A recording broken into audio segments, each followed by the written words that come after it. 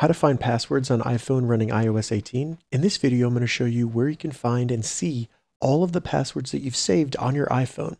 And if this video helps you, please consider giving it a like and also subscribe to my channel because that really helps me out. So with the iPhone update of iOS 18, all passwords have been moved to a separate app called Passwords. So this makes it easier to find rather than having to go in the settings on your iPhone. So to find all of our passwords, we simply need to swipe from right to left till you get to the app library, then just search passwords.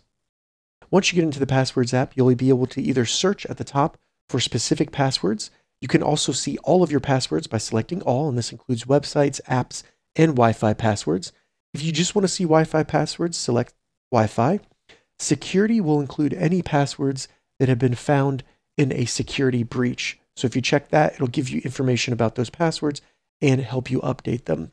Finally, at the bottom, we have shared groups, and this is where you can create groups with people, such as family or friends, to share specific passwords with them, and they can also share them with you. So that's how you find passwords on iOS 18. If this video helped you, give it a thumbs up, and please consider subscribing to my channel.